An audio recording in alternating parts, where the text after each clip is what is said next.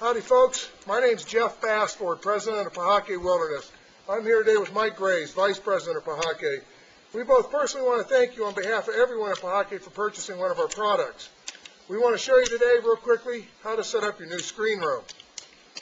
You want to take all the components out of the bag, assemble the pole pieces, and place your four vertical corner poles at the corners of the unit which you have laid on the ground, stretched out nice and tight with the pole sleeves facing up. Assemble your long roof arch poles. And you want to insert those completely through the fabric sleeve that run across the top of your tent.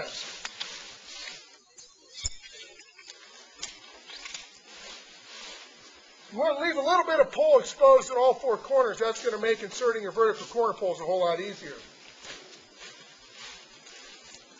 Step on around to the back. Take two of your vertical corner poles, insert them completely into the roof arch pole.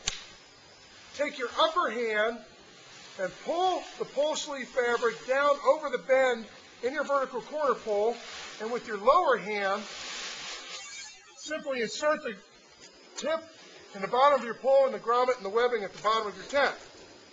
Now you step around the front and you basically repeat that procedure.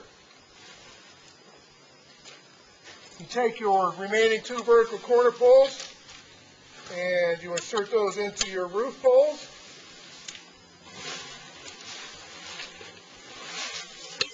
Pull that fabric all the way down over the bend in your poles, again with your upper hand, and with your lower hand, reach down here and insert that pole tip into the grommet and your webbing.